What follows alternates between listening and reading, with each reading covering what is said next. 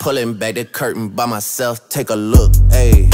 I'm a bar spitter, I'm a hard hitter.